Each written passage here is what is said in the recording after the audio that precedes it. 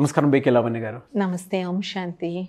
చాలామంది అంటే మనం మన చుట్టుపక్కల ఉండేటువంటి వాళ్ళని చూస్తూ ఉంటాము చాలా లైఫ్లు కూడా చూస్తూ ఉంటాం మనం ఎంత తిట్టినా ఎంత అసహించుకున్నా కొంతమంది అయితే మ్యాన్ హ్యాండ్లింగ్ చేస్తారు. ఫిజికల్ హర్ట్ చేస్తారు. ఏది చేసినా సరే భరిస్తూనే ఉంటారు. అది పార్ట్నర్ని కానివ్వండి పేరెంట్స్ పిల్లల్ని కానివ్వండి లేదా పిల్లలు పేరెంట్స్ని కానివ్వండి భరిస్తూనే ఉంటారు. అంటే ఎలా తీసుకోవాలండి దాన్ని? అంటే అంత ఓపిక్గా ఉండేటప్పటికి చూసేవాళ్ళకి అందులో ఏమైనా స్వార్థం ఉంటుందని అనుకోవాలా? ప్రేమతో ఉంటున్నారు అనుకోవాలా? ఎలా తీసుకోవాలంటారు దాన్ని? యాక్చువల్గా మీరు అంటున్న వాటిని దీన్ని ఇంగ్లీష్లో ఎమోషనల్ అబ్యూస్ అని అంటారు. Emotional abuse emotional and physical abuse ఎప్పుడైతే ఒక వ్యక్తిని మనం మానసికంగా హర్ట్ చేస్తామో ఫిజికల్గా హర్ట్ చేస్తాం యాక్చువల్గా ఫిజికల్ హర్ట్ చాలామంది ఏమనుకుంటారు? కొడితే నొప్పి తగ్గిపోతుంది అనుకుంటారు.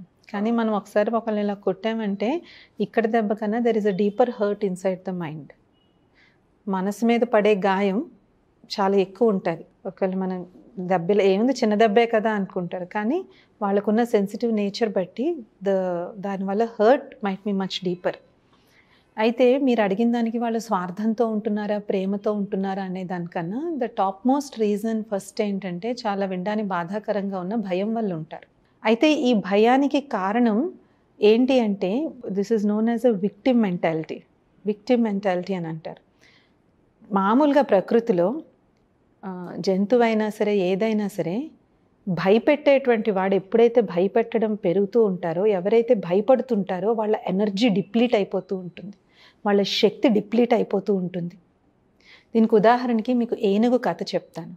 ఒక ఏనుగుని మీరు ఎప్పుడన్నా ఏనుగుని కట్టేసిన చూడొచ్చు చూసారా? దాన్ని చాలా చిన్న తాడుతో కడతారు యాక్చువల్గా.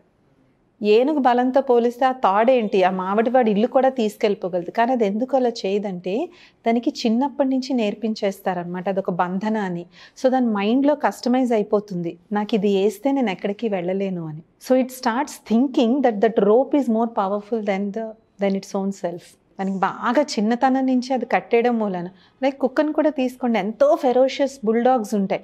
వాటిని చిన్న స్ట్రింగ్తో the owner keeps controlling how does that happen so ఆ కట్టిన తాడు ఆ ఏనుక్కి ఇట్స్ అ సింబల్ దట్ ఇది కట్టేశారు కాబట్టి నేను ఇంక ఇప్పుడు ఎక్కడికి వెళ్ళలేనని. No the same thing applies to human emotions ఎప్పుడైతే మనల్ని ఒకరు బాగా అబ్యూస్ చేస్తూ ఉంటారో తిడుతూ ఉంటారో కొడుతూ ఉంటారో వీ గెట్ ట్రాప్డ్ ఇది యాక్చువల్గా చాలా డీప్గా అండర్స్టాండ్ చేసుకోవాల్సిన విషయం. అవునండి. వి ఫీల్ ట్రాప్డ్ రెండోది భయం. ఆ వ్యక్తి అంటే మనకి భయం. మనం ఏమీ మాట్లాడలేం. మనం ఏమీ అనలేం. మనం తిరిగి ఏమీ సమాధానం చెప్పలేం. బట్ ఇంకా దురదృష్టకరమైనటువంటి విషయం ఏంటంటే sometimes this person does not need the other person వీళ్ళు ఫైనాన్షియలీ వెల్ సెటిల్డ్ ఉంటారు. చుట్టుపక్కల అందరూ సపోర్ట్ సిస్టమ్ కూడా ఉంటుంది. కానీ అయినా నోరెత్తలేరు. అంత భయపడిపోయి ఉంటారనమాట మీరు చాలా డొమెస్టిక్ వైలెన్స్ కేసెస్ చూసినట్లయితే lower sections of the society illiterate sections of the సొసైటీస్లోనే domestic violence లేదు. అన్ని సెక్షన్స్ ఆఫ్ సొసైటీలో ఉంది. అందులో చాలామంది ఫైనాన్షియలీ దే వెల్ సెటిల్డ్ మంచి పొజిషన్ ఉంది వాళ్ళు హ్యాపీగా పిల్లల్ని పెంచుకోగలరు అయినా బయటికి రాలేకపోతారు. దీనికి ఉన్న కొన్ని కారణాలు ఏంటంటే ఫస్ట్ది ఎవరైతే వాళ్ళ అబ్యూజర్ ఉన్నాడో ఎవరైతే వాళ్ళని హింసిస్తున్నారో మీరు అన్నట్టు తిడుతున్నారు చేస్తున్నారంటే వాళ్ళంటే విపరీతమైన భయం ఉంటుంది. భయం ఉన్న కారణంగా ఒక్కోసారి మనం వాళ్ళకి సరెండర్ అయిపోతాం. లొంగిపోతాం. That is a very dangerous stage okay.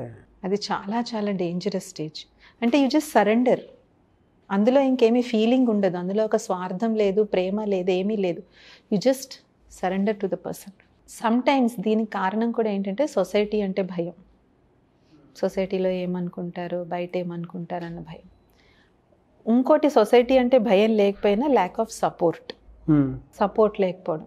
Further support further support actually నేను మధ్య ఒక ఆర్టికల్ చూశాను అనమాట live in relationships live in రిలేషన్షిప్స్లో ఏ విధమైన బాండేజ్ లేదు వాళ్ళకి. లైక్ పిల్లలు లేరు ఒక ఏదో కోర్టుకి వెళ్ళి డివోర్స్ తీసుకోవాలని లేదు ఒక లీగల్ బైండింగ్ లేదు ఏం లేదు. వాళ్ళిద్దరూ ఇష్టపడ్డారు కలిసి ఉంటున్నారు.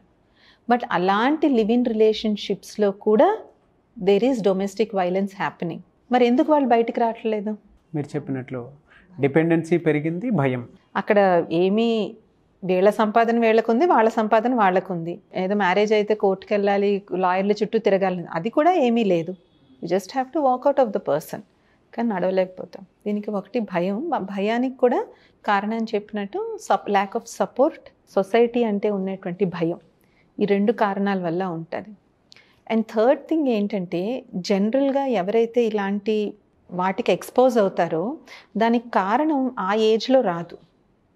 వాళ్ళ చిన్నతనం నుంచి అలాంటి బిహేవియర్ ఇంట్లోనో ఎక్కడో చూసుంటారు. Either they might have had an abusive environment while growing up ఇంట్లో వాళ్ళు చిన్నతనం నుంచే అలాంటి వాతావరణంలో పెరిగిన కారణంగా అక్కడ వాళ్ళ పేరెంట్స్ చేసినటువంటి దాన్ని వీళ్ళు అనుకరించడానికి ట్రై చేస్తారు. Or they might have had an very స్కూల్లో స్కూల్లో అందుకే ఇప్పుడు స్కూల్లో టీచర్స్ కొట్టకూడదు ఇది అని చెప్పి బ్యాన్ అన్ని పెట్టడానికి కారణం ఏంటంటే పిల్లలు ఆ ఏజ్లో ప్రొటెస్ట్ చేయలేరు. సో వాళ్ళకేంటి స్కూల్ అంటే భయం. యాక్చువల్గా కొంతమందిని even when we grow up if you remember they was there is one subject which we don't like ప్రతి ఒక్కరికి ఉంటుంది ఏదో ఒక సబ్జెక్ట్ ఉంటుంది. మోస్ట్లీ దానికి కారణం సబ్జెక్ట్ కాదు. ఆ సబ్జెక్ట్ని టీచ్ చేసిన టీచర్ అయి ఉంటారు. సో యూజువల్గా మనకు ఆ సబ్జెక్ట్ నచ్చకపోవడానికి కారణం ఆ సబ్జెక్ట్ అయి ఉండదు.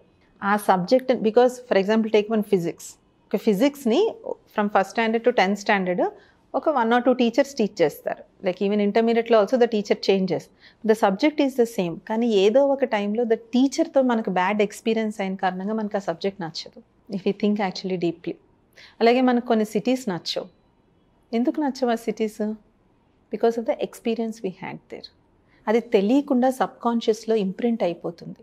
సో అందుకనే చిన్నప్పటి నుంచి పిల్లలు ఇంట్లో కానీ వైలెన్స్ చూసినా లేదంటే స్కూల్లో కానీ X Y I'm taking these two examples ఏంటంటే mostly this is where children spend their time ఇల్లన్నా school అన్నా స్పెండ్ చేస్తారు టైం చూసినప్పుడు ఏమవుతుందంటే ఆ ఇంప్రెషన్స్ సబ్ కాన్షియస్గా లోపలికి వెళ్ళిపోతాయి.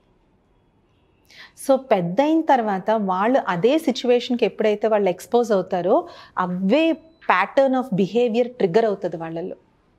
అందుకే అంటారు చిన్నప్పుడు పిల్లల ముందు పోట్లాడుకోవద్దు పిల్లల ముందు గొడవలు ఆడుకోవద్దు పిల్లలతో గట్టిగా చెప్పొద్దు అని చెప్పేసి పిల్లల్ని గట్టిగా చెప్పొద్దు అని.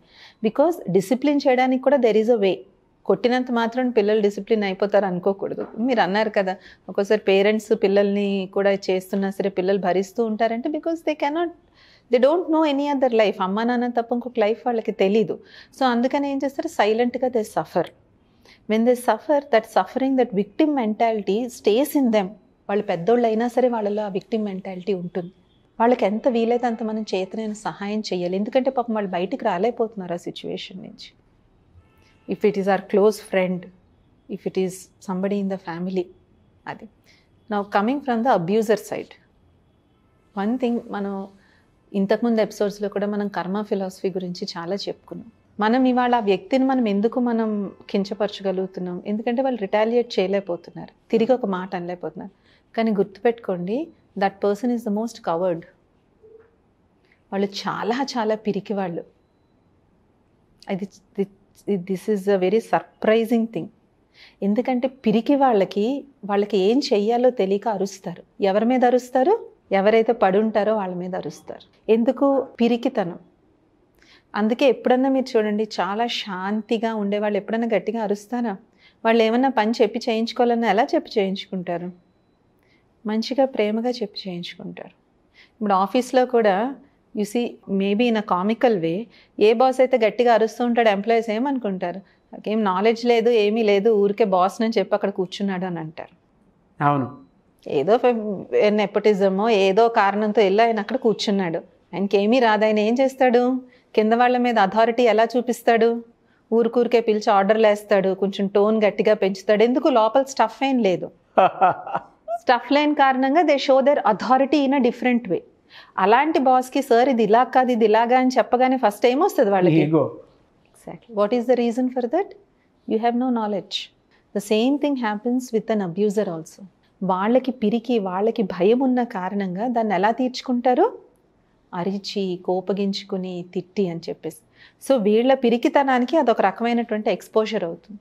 అండ్ సెకండ్ థింగ్ ఏంటంటే ఇవాళ మీరు వీళ్ళని ఎంతగా బాధ పెడతారో సమ్హౌ ఇన్ సమ్ సిచ్యువేషన్ అది కంపల్సరీగా మనకి వెనక్కి వస్తుంది. Because in this universe the energy is neither created not destroyed మనం పాజిటివ్ ఎనర్జీ బయటికి ఇస్తే మనకి పాజిటివ్ ఎనర్జీ వస్తుంది. మనం నెగిటివ్ ఎనర్జీ ఎమిట్ చేస్తే మనకి నెగిటివ్ ఎనర్జీ వస్తుంది. So in some way in some form for example if you see they will be wives who will be correlating this experience వయసులో ఉన్నప్పుడు మా ఆయన ఇలా ఉండేవాడు ఏంటి? ఎంత ఇదిగా ఉండేవాడని తర్వాత జబ్బు చేసిన తర్వాత ఏ- ఎవరి మీద డిపెండ్ అవుతాడు? ఆమె లేకుండా ఐదు నిమిషాలు కూడా గడవదు. ఒక కాఫీకి ఆమె కావాలి చాయ్కి ఆమె కావాలి. ఆమె వచ్చిన వాళ్ళకి అందరికి ఏం చెప్తుంది? ఇప్పుడు ఇలా మంచాన్ని పడి ఇలా ఉన్నారు కానీ వయసులో ఉన్నప్పుడు నన్ను ఎంత హింసించాడు ఎంత బాధపడ్డాడు. ఇప్పుడు ఆ వైఫ్ లెగిసి నువ్వు చాయ్ ఇవ్వకపోతే నీకు రోజు కడవదు. ఆమె మందు ఇవ్వకపోతే నీకు రోజు కడవదు.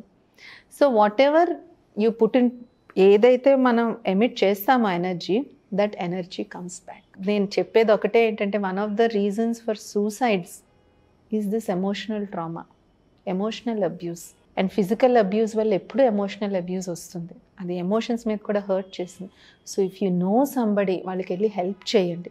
మీరు డైరెక్ట్గా హెల్ప్ చేయలేకపోయినా అనానమస్గా అన్నా సరే ట్రై టు హెల్ప్ దెమ్ కానీ విక్టిమ్ అని తెలిసిన తర్వాత వాళ్ళని వదిలేయద్దు. If you can help please help great words అండి thank you so much Lavani garu. Shanti.